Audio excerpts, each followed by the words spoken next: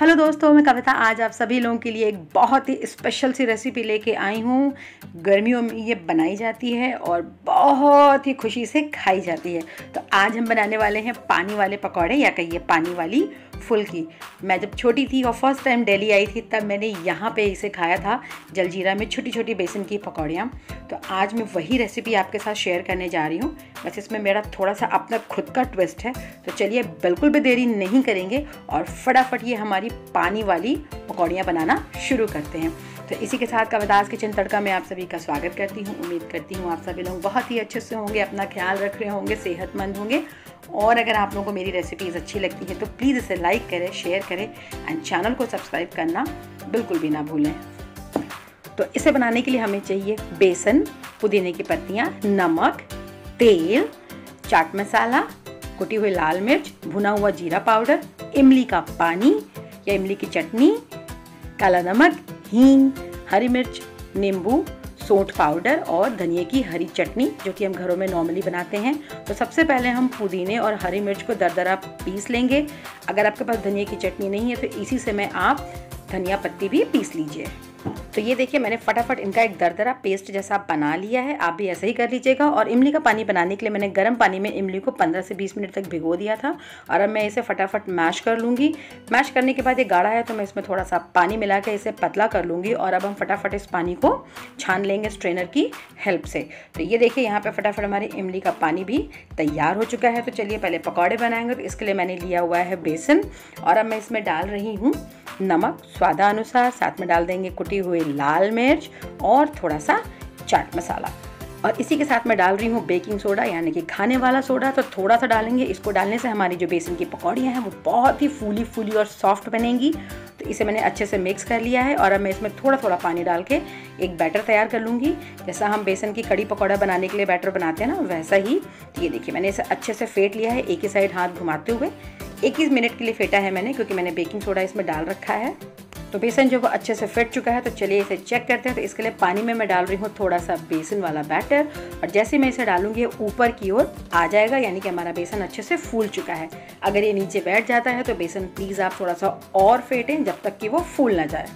तो अब मैं इसे थोड़ी देर के लिए रख दूँगी। चलिए अब बनाते हैं पकौड़ों का पानी। तो इसके लिए एक बड़े से बोल में मैंने ले लिया ढेर सारा आइस क्यूब्स और इसमें मैं डाल रही हूँ बहुत ही ज़्यादा ठंडा पानी। ये ठंडा ही सर्व किया जाता है। और अब मैं इसमें डालूँगी थोड़ा सा हींग। साथ में डालूँगी काला नमक, और अब हम इसमें डाल देंगे लाल मिर्च पाउडर तो स्वादानुसार डालें सोंठ का पाउडर, और अब हम इसमें डालेंगे थोड़ा सा भुना हुआ जीरा पाउडर और चाट मसाला, और इसी के साथ में इसमें डाल दूँगी हमारी हरी धनिए की चटनी। आप भी अगर चाहें तो अपने घर में रखी हुई हरी धनिए की चटनी का इस्तेमाल आप कर सकते हैं इसमें, और अब मैं इसमें डाल दूँगी पुदीना और हरी मिर्च का दरदरा पेस्ट ये पानी बहुत ही चटपटा, तीखा, नमकीन और खट्टा बनता है। तो आप अपने पानी की क्वांटिटी को देखते हुए और अपने टेस्ट को देखते हुए इंग्रेडिएंट्स को कम ज़्यादा कर सकते हैं। और अब मैं इसमें डाल रही हूँ हमारा इमली वाला पानी और स्वादानुसार नमक। तो हम सारी चीज़ों को एक साथ फटाफट कर लेंगे। तो ये देखिए हमारे पानी में कितना बढ़िया सा कलर आ चुका है, कितना दिखने में ये टेस्टी लग रहा है टेम्पटिंग लग रहा है। तो अब मैं इसमें डालूँगी नींबू, क्योंकि ये थोड़ा खट्टा ज़्यादा पसंद किया जाता है। और साथ में थोड़े से पुदीने की फ्रेश पत्तियाँ मैं इसमें तोड़ के डाल दूँगी। आप चाहें तो धनिया पत्ती भी डाल सकते हैं, हरी मिर्च भी काट के डाल सकते हैं, और चाहें तो प्याज के छल्ले भी डाल सकते हैं।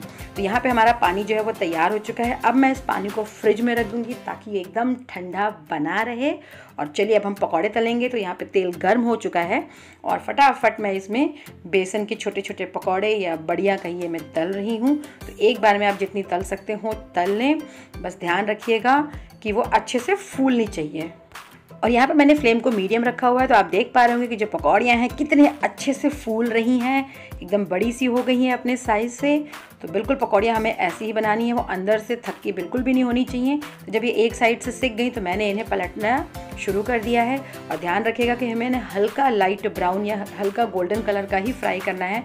बहुत ज़्यादा मैं इसे फ्राई नहीं करूँगी अदरवाइज़ ये ऊपर से थोड़े से रफ़ हो जाएँगे या टाइट हो जाएँगे। तो यहाँ पर मैंने इन्हें ये निकाल लिया है, क्योंकि ये हो चुके हैं। ये देखिए, एकदम हल्की फुल्की सुनहरे रंग की हमारी बेसन की जो पकौड़ियाँ हैं, वो तैयार हो चुकी हैं। ये बहुत ही सॉफ्ट है, मैं आपको इसे प्रेस करके भी दिखाऊँगी। और ये देखिए, इनका जो कलर है, जो टेक्सचर है, कितना अच्छा लग रहा है। आप चाहें तो इन्हें थोड़ा सा और ज़्यादा फ्राई कर सकते हैं, मगर वो फिर कड़ी हो सकती हैं। तो मैं आपको इसे तोड़ के भी दिखा रही हूँ कि अंदर तक ये स्पॉन्जी है, अंदर तक ये पक चुकी है, अंदर तक इसके जालियाँ आ चुकी हैं, यानी कि ये बहुत ही ज़्यादा सॉफ्ट है। मैं आपको और भी पकौड़ियाँ एक बार प्रेस करके दिखा रही हूँ। तो ठीक ऐसी ही पकौड़ी आप बनाइएगा। तो पानी में जाके ये बहुत ही मस्त लगेंगी। और जैसे ही ये पकौड़ियाँ हल्के से रूम टेम्परेचर पे आ गई, मैं इन्हें हमारे ठंडे ठंडे जलजीरे वाले पानी में डाल रही हूँ। देखिए कितनी बढ़िया तरीके से पानी में फूल रही हैं और ध्यान रखिएगा कि एक साथ हम बहुत ज़्यादा पकौड़ियाँ नहीं डालेंगे। अदरवाइज़ वो ठीक से पानी को पी नहीं पाएँगी एब्जॉर्ब नहीं कर पाएँगी और एक दूसरे के वेट से वो टूट के पानी में ही बिखर जाएँगी। और इसी के साथ मैंने हल्का हल्का प्रेस कर रही हूँ, पानी के अंदर डुबोने की कोशिश कर रही हूँ और इसके ऊपर जो हमारा जलजीरा वाला पानी है, मैं वो भी डाल रही हूँ। तो अब हम पकौड़ियों को ऐसे ही रख देंगे, करीबन 10-12 मिनट के लिए।